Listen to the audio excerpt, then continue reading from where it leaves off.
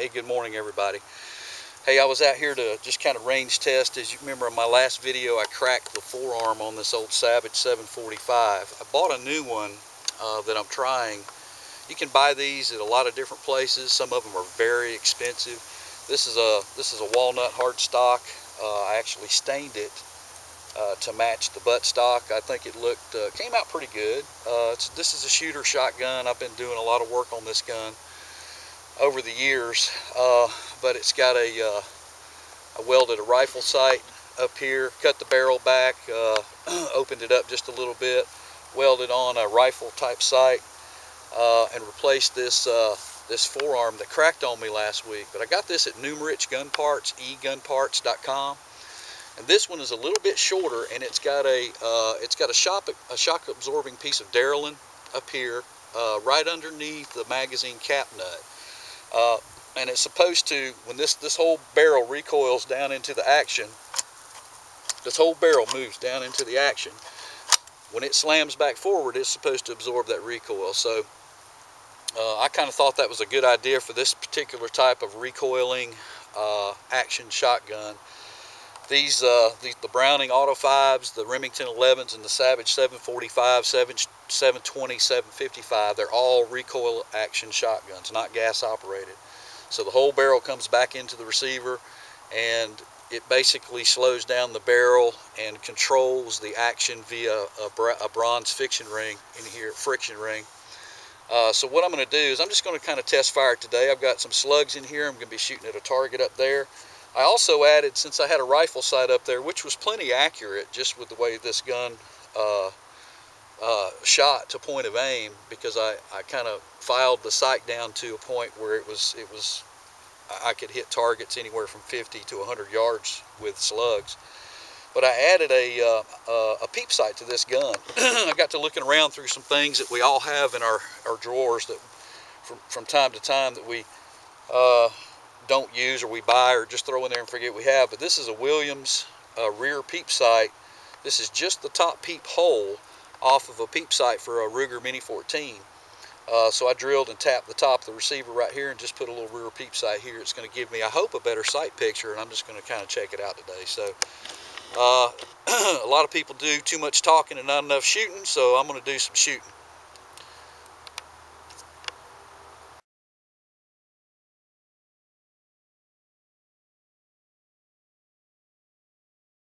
Shoot, so I'm locked and loaded. I'm ready to go. Let's see what happens here.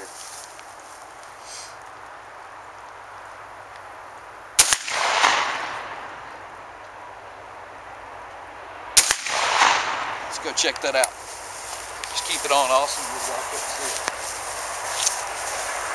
Uh, those were those Aero Exacta, uh, Exacta Aero slugs, 1560 feet per second. Um, they were very accurate out of this gun before. Um, I really like them. They're my new slug. Uh, and as you can see, uh, that is what you want out of a slug gun. I was about uh, 30 yards away. Uh, the new rear peep sight performed admirably. I just took a standard sight picture with a rear peep uh, front sight post directly in the middle of it, and that's the result. So I'm going to go put a couple more rounds on this other target, and uh, we'll show you the results of that.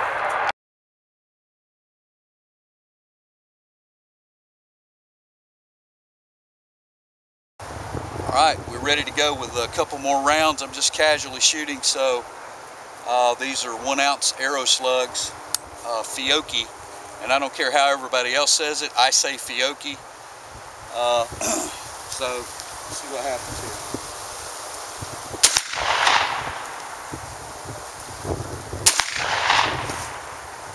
Got it, got that one. Let's walk up.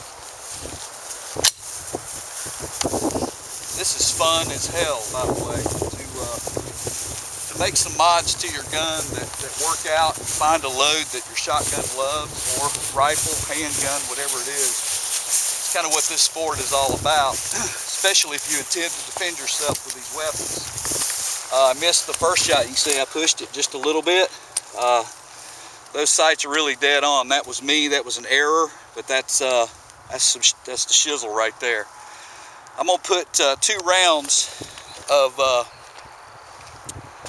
I'm gonna put two rounds of double aught buckshot. This is uh, the Centurion 12 pellet double aught buckshot. So it's got 12 pellets of 33 caliber lead shot in them. I'm gonna put two rounds. I'm gonna try to put one here and one here. We'll see how those work out.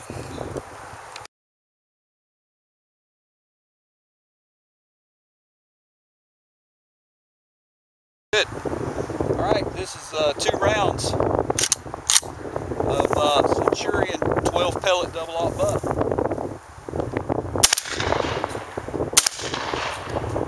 Wow, those are stout loads, man. Those are those are those are hotter than the slugs. I'd rather shoot the slugs actually. Uh, those give you a nice flat fucking head uh, when you pull the trigger on them. uh, see, boy, some of them grouped really well. I pulled that just a little bit low, but they're they're all over this target. Uh, that was about a 15 yard shot. I'm gonna come back and put one more slug on the target and then we're gonna uh, probably wrap it up, but I just wanted to test the gun.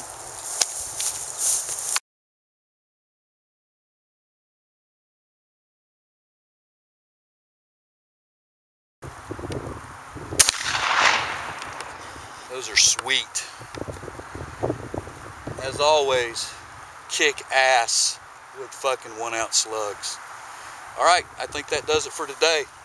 Savage 745 police modification. Uh, the next thing I'll probably do is put an extended mag on it. I really don't know why, other than just a couple more shots, but really I think it's gonna enable me to hang a, a, a really light flashlight up here.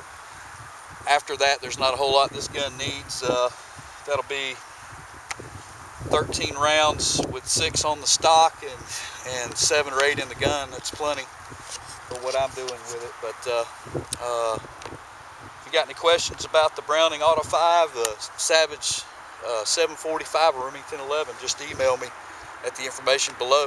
Peace out.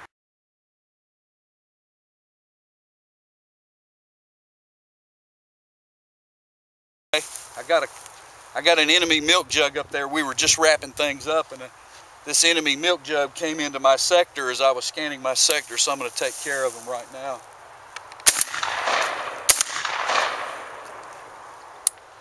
He won't be reporting back to battalion.